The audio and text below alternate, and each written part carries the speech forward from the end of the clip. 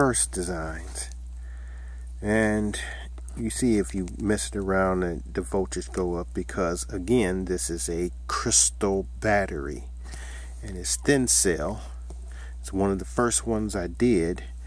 And as the crystal grew on there the power go up.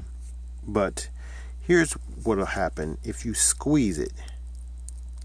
Let's see if I can there that's what happens when you squeeze it you can hear the crunches and that'll go up.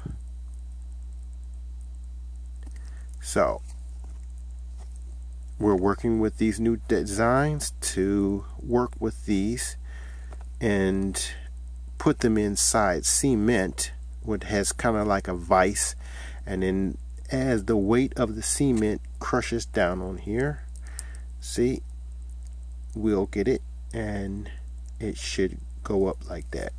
Okay? All right, so we are going to keep working on this idea.